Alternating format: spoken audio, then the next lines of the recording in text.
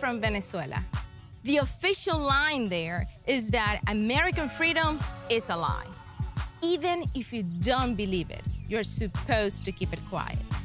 As a woman, as a shooter, as a Venezuelan and US citizen, I'll continue to speak up for our freedoms because I know what can happen when people stop talking about their rights.